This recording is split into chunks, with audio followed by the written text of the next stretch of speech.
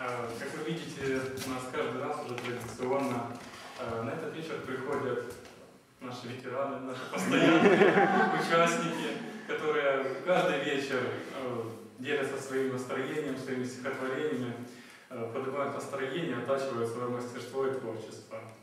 Но также традиционно у нас появляются и новые участники, которые вливаются в общий коллектив и рассказывают свои стихотворения.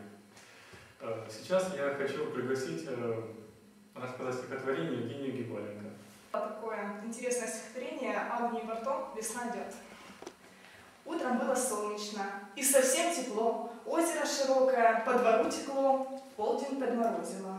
Вновь зима пришла, затянулось озеро корочкой стекла. Расколол я тонкое, звонкое стекло.